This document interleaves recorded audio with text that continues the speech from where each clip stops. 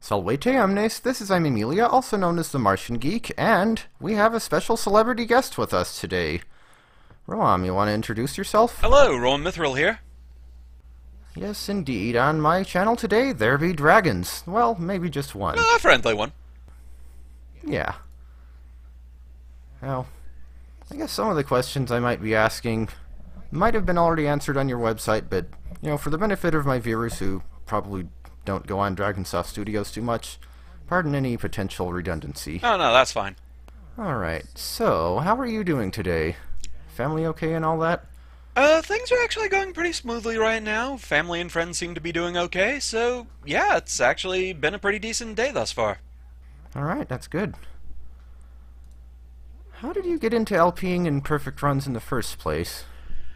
Uh, it's kind of two separate things. Doing perfect runs, that's something I've always kind of done on just my own time with the uh, the classic Mega Man series, at least, because I've always really enjoyed that series, and so I would just play those games over and over and over and try and find new ways to do things and just have fun with it. And so I did like perfect runs before I even had a name for the system and the challenge and everything. Uh, of some of the easier stages like Top Man, Toad Man, that sort of thing. And so when I started doing Let's Plays on my channel, I kind of realized that was something I wanted to see how far I could go with that challenge, and I wanted to see if I could do every stage that way. As far as doing Let's Plays in general, uh, I kind of got into it by watching other Let's Players. Like, my first exposure to it was raocow and ProtonJon. Uh, so that was my first real exposure to Let's Play videos. But what really got me to where I felt like it was something I could do was when my friend Shag, uh, when they started doing videos like that, it made it feel like a more attainable goal, like something I could definitely do. And the rest is history, I suppose. Yeah, pretty much. Alright. So, what does the furry fandom mean to you? Like, I'm assuming there's more to it than just, you know, dragons are cool, and I feel like I have the spirit of one. Like, do you especially like stories or games that involve dragons? Sarkhan and Narset would certainly get along with you. Uh, furries in general, like the furry fandom, it's not something that I'm like, you know, super prominent in the furry fandom or anything like that. I'm not particularly well known. I'm not that active in the fandom. Never been to a convention or anything like that. Uh, it was just kind of a group that I sort of stumbled across after some recurring dreams I had when I was growing up. I had these dreams that I was flying, but I never really understood how. Until one time I had the dream again, and I was flying over this very clear, reflective lake. I looked down, and I saw myself as a dragon, and that image just kind of resonated with me, and so it sort of became the character that I portray on the internet, basically. Just sort of the persona I put out there. Uh, furries in general, I just tend to find them a bit more interesting. I mean, humans are okay, but there's only so much variance you can get there. Whereas when you introduce like anthropomorphic animals into the mix, there's just so much more variety there. I find them so much more fun to draw, really. So that's the sort of thing with that, really. Sure, that works. Um, I notice you don't tend to really swear in your videos. I mean, that's perfectly fine with me. I really don't either, but is there any personal reason for that, or just never really got into the habit? Eh, It's kind of just something I'm not really in the habit of doing. I mean, I will swear from time to time. Uh, from time to time, I'm not like you know a super prude or anything like that, but I have to be really angry before I start using that kind of language, and gaming just doesn't really get me to that level. Uh, basically, if you hear me use that kind of language, someone somewhere messed up. Fair enough. So, pretty much, like, following my philosophy of saving it for when you really need it, and you're like, I can only really think of two times in my life that I've ever used, ever genuinely swore, and, well, at least not counting, like, quoting somebody who used swear words. And, you know, both of those times I, I felt like I really meant it, I guess, so Yeah, uh, kind of the same thing with you. It's kind of that. Uh, like an example of it that I can point out, uh, something I just uh, remembered. As much as I don't like follow the show South Park, there was an episode that it dealt with swearing because there was some sort of uh, FCC restriction on using swear words on TV that got lifted to where you could say certain words a certain number of times in a certain time period, I think it was. And so they just went whole hog on this and just started.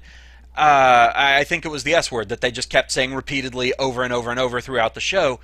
And the point that they got to with it was uh, showing that the more you use a word like that, the less impact it has, the the less power it has behind it.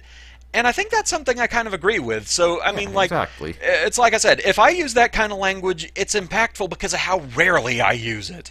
Yeah. Like I said, I'm with you on that. Let's see. Um, other than Mega Man Battle Network and Pokemon, are there any other RPGs you like? Turn-based, action, tactical, whatever? And on that note, I know you'll never play Mega Man X no matter how many people protest, but how, many, how do you feel about Mega Man X Command Mission? Admittedly, I've never played it myself, but I'm curious. I've never actually played You mentioned all Command Mission out there like just because Trails, Mario RPGs. it's just something you know i mean i'm not interested in the x series i don't really like the setting or the characters or whatever so i've never been too interested in trying command mission but i do give it points for having a platypus that's kind of awesome and just it's an unusual animal so it, it cracks me up when i see a platypus in something as far as rpgs in general it's just kind of a hard There genre for me needs to get into usually. Uh, just because of the time commitment behind them usually. So I usually tend to favor action type RPGs, things like uh, Secret of Mana, Kingdom Hearts, that sort of thing. There are exceptions to the rule, like uh, I like Persona 4, I like uh, Final Fantasy 9. Obviously, I am a Pokemon addict, things like that. Gotta have those shinies. Oh yes. So, and you've mentioned liking action RPGs more than turn-based RPGs, right? Yes. Alright. Yeah, you should consider the E series more, I suppose. Uh, Those yeah. pretty much convinced me I could like action RPGs. I've actually played one of the Ys games, and and yeah, I, I always just pronounce it wise. It's one of those things. it- It's hard to tell how it's supposed to be said, but East probably makes more sense. But uh, I've played Yeah. Wanderers from Ys three on the Super Nintendo. Uh, that's the only entry in the series that I've played. But yeah, it was pretty nice. I'd imagine a lot of people mispronounce it. I think the, the first one I played was Ys Origin, which it's on Steam, and presumably, I would hope that's not the only distribution platform it's on on PC for your sake. But Right. um, now how about how about things like Mario or Donkey Kong? I mean, I know everyone and their mother has done LPs of those, so I'd assume that's at least part of the reason I have yet to really see you do many much stuff, um, any of those on your channel. But more of a fan of the run and gun style of 2D platformer rather than the hop and bop kind, perhaps. Not so much. Really, it's more just a thing of usually if I do a project on my channel, it's because that's what I really feel like playing at the time. Uh, so it's more just a thing of I guess I haven't really been supremely in the mood of you know I really want to play a Mario game right now, but it's not completely out of the question. Like I have actually thought about that. I'd kind of want to do LPs of the Super Mario Galaxy games, maybe Sunshine uh, things like that. Uh, I really do like the Mario games, and also on that note, another like uh, hop and bop type platformer I'd kind of like to play sometime would be Sonic Unleashed. It's my favorite of the Sonic games, and so that's something I'm actually considering fairly soon. Well, I will keep an eye out for it. Now, how about stuff like Journey to Silius, The Krion Conquest, or Bucky O'Hare? Seems like the NES actually has quite a few of those in that style, really. It, it really does, too, yeah. I think that's only in Japanese.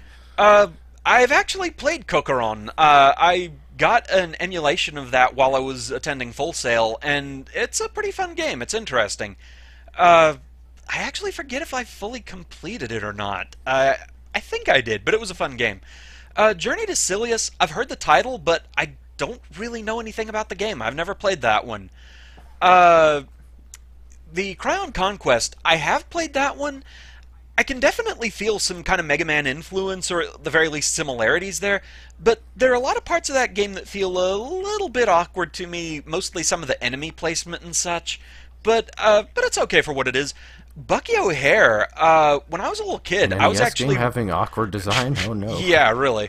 But uh, Bucky O'Hare, when I was a little kid, I was super into that cartoon, so I did play the game, and from what I recall, it was actually pretty fun. I want to say I have a copy of it kicking around somewhere. I'm not sure where, but I'm pretty sure I have it somewhere. And it's something a friend of mine actually brought up at one point, and I might consider doing it as an LP at some point.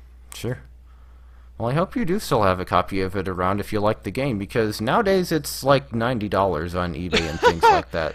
Yeah. Kind of sucks trying to get those old games for, on the original cartridge a lot of the time.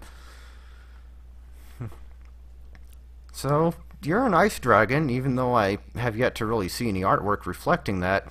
And I noticed there's not a whole lot of ice in Texas. Do you think you'd move if you didn't have any family or friends there to worry about?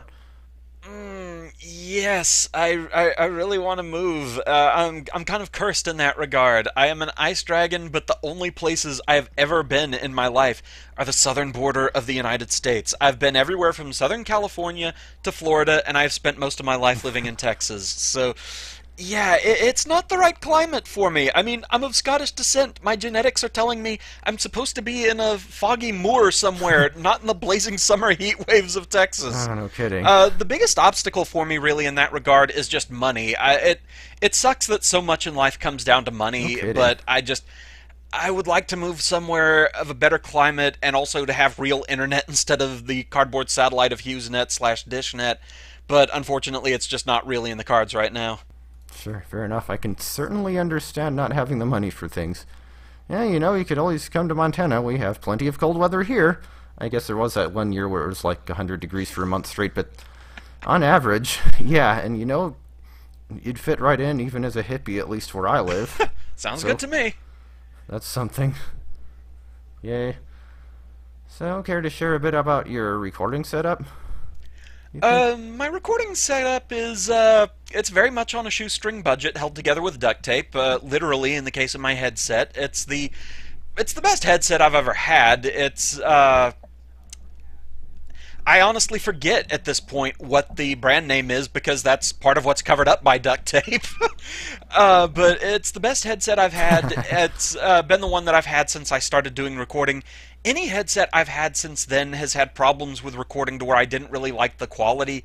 Uh, the worst I've had was a Logitech headset that everything that I recorded on it, it sounded like it was coming across a really bad telephone connection. So yeah, that wasn't any good. Uh, as far as software, it's pretty Jeez. much all freeware stuff just because that's what I can afford, really.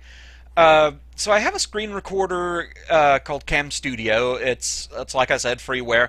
It basically does what I need it to do, though it does drop frames sometimes. It usually works well enough for my purposes. Uh, for sound recording, I use a demo version of WavePad Sound Editor that basically everything that's locked out of it and says you can use this if you upgrade to the full version. It's nothing I really need. So all the core elements are there that I really need. So it works for what I uh, for what I want it for. Uh, and for video editing, I just use Windows Movie Maker. Came free with Windows. As for that, my system is kind of an old one. I use uh, Vista 32-bit, uh, partly because, again, money issues. I can't really afford a new system just yet, but I am saving up for one. Uh, I don't know when I'm going to be able to get one, but you know, hopefully it does what I need it to do. Uh, but the other reason I use Vista 32-bit is because of my uh, my capture device for console recording is the Adaptec GameBridge, and that doesn't work on any operating system past Vista 32-bit. Yeah, that's annoying. I had a similar experience with my video, video editor. I actually bothered to save up and buy one, even though it was a relatively cheap one. And then I had to buy it again when it stopped working when I switched to Windows 10. Ugh. But yeah, I can I can certainly relate to the money issue. And Yeah. yet somehow, despite me, somehow with all the that minimalistic stuff, you still manage to have much more professional sounding and looking videos than me. Oh, well, it's it's kind of a learning process. I mean, I've been at this since I think 2008, 2009, so I've got a lot of years of experience with this, and and you can tell from watching like some of my older videos compared to the more recent ones how much more uh, confidence I've gotten, how much more energy in what I do. Uh, like my earliest videos, I just I sounded like I really didn't want to be there. I sounded like I was half asleep just because I really didn't know what I was doing just yet. So it's something that the more you work on it, the more experience you get with it, the better you get at it, that sort of thing. Sure. Well, I guess I started in 2010, and I could have sworn it was longer ago than that. But hey, at least I suck less at it now than I did then. Well, there you go. Is there anything else you'd like to tell about yourself? I guess I haven't really mentioned your artwork yet. Uh, yeah, that's kind of my other major passion in life is that uh, other than video games, I love drawing. Usually, like pencil and paper, uh, colored pencil if I want to do something more detailed or whatever. Uh, I actually do have an art tablet for my computer, but I don't know. It just doesn't really feel the same to me. I don't know if maybe it's just because it's an older one that doesn't have like a visual screen for drawing on it, and so you just kind of have to guess where your stylus is when you're drawing. So it's hard to pick it back up where I left off. Uh, also, I just don't really have a lot of experience with it, but pencil and paper will always kind of feel more natural to me. I think. I'm not a fan of touchscreens either. I've noticed that artists always seem to be either pretty cool or really emo, or sometimes even both at once. I, I have my moments, I freely admit. Yeah, I know a few myself. Alright, time for. Oh, wait, actually. Um, do you have any advice for anyone else looking to start doing Let's Plays or even perfect runs or other challenge runs, anything like that? Do you think? Uh, best advice I can really give is just, you know, love what you do. Uh, don't get into it just for the numbers. If you get into it purely for the numbers, you're getting into it for the wrong reason because then you're just going to be at the beck and call of what these people want and not what you want to do. And I just in general feel like you're not going to have as much fun doing that. Also, big one, if you don't want to just be constantly hounded about the same series day in, day out, don't make the same mistake I did. Get variety going on your channel from day one. I played classic Mega Man as like the first first eight or nine projects on my channel, and so that's like what I usually get asked about, even though I have so many other things on my channel. And I'll even occasionally get comments like, "You haven't posted Mega Man in a while. Are you dead?" Even though I'm in the middle of doing another project. Well, I, I guess that's one thing. At least I didn't have to worry about at the beginning. there you go. Oh, good. Alright, time for the random question lightning round, I suppose. All right, bonus points. Uh, what's your favorite food? Uh, favorite food Yeah. is chicken fettuccine alfredo, though in general I really like a lot of pasta dishes, but that one's my overall favorite. Uh, favorite color? Anything of a colder palette, really. Basically, anything ranging from green to blue, violet, purple, that sort of thing. Uh, I tend to mostly stay toward violet as my favorite color. A man after my own heart. Uh, favorite Mega Man game or games? Could Um, be my classic favorite- or whatever uh, series. My favorite Mega Man game in general would definitely be Mega Man 9. Just all the weapons felt really good in that game. They all felt useful. It wasn't like Mega Man 2 where there was a definite be all end all weapon that was useful but kind of boring and overpowered. Uh, so I really like the balance in Mega Man 9. That one was really good. As far as games in general, it's harder to say just because I like so many different genres of games. Like, it's hard to compare a platformer to survival horror or whatever. But I guess the game I come back to most often would just be in general the Pokemon series because, you know, collection aspect and hoarding instinct. Yep, gotta have those shinies. Oh, yes.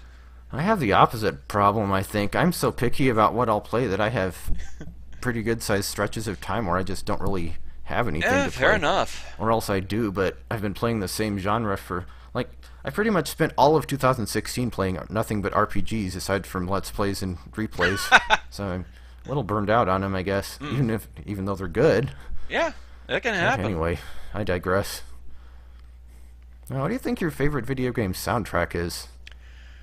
Ooh, favorite video game soundtrack. There's a lot of good ones out there. Uh in general, I really love a lot of the Dynasty Warriors soundtracks just for how energized they sound. It's a lot of overdriven electric guitar and stuff, so it's really good for kind of feeling pumped up and everything. For the same reason I love the Hyrule Warriors soundtrack because it's that same kind of energy but applied to Zelda music and it sounds really nice. Huh. I may have to check those out. I've found a number of soundtracks that use a lot of I don't know, for want of a better word, actiony type music like the Ys series for one, or East, Right. and of course Mega Man X. So I'm also a big fan out. of a lot of the Silent Hill go with- soundtracks. Like, I love the work of Akira Yamaoka. I really love his songs. Huh. I hardly even notice the, mo- the music in those. It seems like it's mostly just ambience. Personally, I'd go with Donkey Kong Country Pro- Tropical Freeze, almost certainly. Oh man, I, I really go. need to get that game and play it sometime. I've heard good things about both that one and Donkey Kong Country Returns. Oh yeah, if you haven't played either of those yet, and you you do like that style of platformer, you, you should try them. Yeah, I'm I actually really doing a let's play sometime. of Returns right now. Oh, nice. Might have to fact. check that out. Sure, I'd I'd be appreciative. Um. Anyway, uh, favorite real life musical artist or anything like that, or whatever you call non-video game music. I know Uh, real life isn't quite the right yeah, phrase. I know what you're talking about. Like actual music groups and everything. Uh, my overall favorite is Daft Punk. I really love their songs. Uh, I also really like uh, Blue Man Group, uh, Gorillaz, uh, Kansas. My musical tastes kind of range all over the place, except I tend to not really like things like. I'm not a big fan of rap, country, or like screamcore heavy metal, where they're not really singing the lyrics, but more just screaming them at the top of their lungs. Like I'm not a big fan of that kind of thing. Sure. Again, I can pretty much understand. um, what do you think you what superpowers do you think you'd have if you were a superhero or you know, turned into a mutant because of some freak accident or something? well, Either as, based on personality or just desire. As boring a choice as it probably is, as far as all the superpowers you can really have, it's one reason I tend to relate to my dragon form is I want flight. I want that feeling of freedom to just kind of leave things behind on the surface for a while and just go flying. I want that. Beyond that, uh, probably like Fair the main enough. power my dragon form has is elemental magic. I've always thought that was kind of cool. So I don't know if you can really call that a superpower, but it's probably the closest I get. Oh, hey, that works. So, basically, your superpower power is you want to be a dragon. Basically, yes. All right. Well, if you could be a mythical creature other than a dragon, what do you think you'd choose? it would definitely still be something that can fly. I mean, that, that that's my big thing. So, I don't know, maybe like a Pegasus or a Griffin or something. Those are pretty cool. Sure. Um, any characters you particularly like, either in video games or other media you Uh, can think of? Well, there's one character I really like. I just like her attitude, her voice, and everything. Even though I've never played the games she stars in, but I like Bayonetta. She has kind of this this, cool style. Uh, I have a weakness for that kind of voice, that kind of accent. It sounds really nice. Uh, I also really like Heather Mason from Silent Hill 3. She is pretty much my favorite protagonist in that series. Uh, just the way she handles the situation and everything. Uh, it's the same sort of thing with Resident Evil, where my favorite protagonist there is uh, Leon Kennedy, because they're not afraid to bring the snark, and I think that's it's the way I like to think I would handle that kind of situation Oh, yeah. is to try and find the humor to get through it. All right, cool. Hmm, kind of a similar. Well, okay, not that similar, but my favorite character is probably Estelle Bright from Trails in the Sky, and she certainly knows how to dish out the snark too. So, nice. all right. Uh, do you have any sort of life philosophy you think that you you could share? Uh, basically, the best I can say there for- is just you know be good to each other. Uh, if if we as the human race could stop inventing stupid reasons to hate each other and could just come together as one big human race, there are so many things we could accomplish that we just can't otherwise because we're just too busy hating each other, and that just seems so stupid to me. Oh yeah, couldn't agree more there. Well, I guess we're about out of time here. Um, I guess I should mention that you were honestly probably my biggest source of inspiration for getting into Let's Plays myself, albeit kind of hilariously indirectly, but definitely still the biggest source of inspiration, so I'm honored to have you with me here. Well, thank you for having me, and I'm glad I could do that for you, and I hope you continue to enjoy what you do. Sure, I hope so too. So, thanks for your time. I'll have to start. I'll have to keep watching those Resident Evil videos too. Honestly, I am so far behind on like everyone I'm subscribed to on YouTube. You're one of at least four people, one of, including one person who's actually done with the game she's working on, even though I'm only like four episodes in. Well, I'm Oh, still yeah, working hard on on Resident that, Evil, uh, doing some of Jill's extras and stuff. Sure. Oh geez, you're done with the game too.